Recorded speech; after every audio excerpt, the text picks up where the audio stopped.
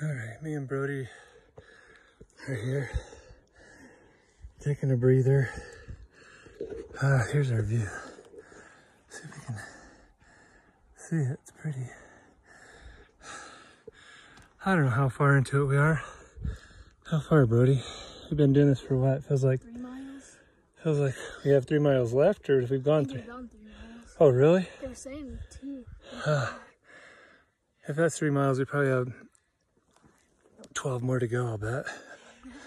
Because I don't think we've gone that far, but we saw two moose so far.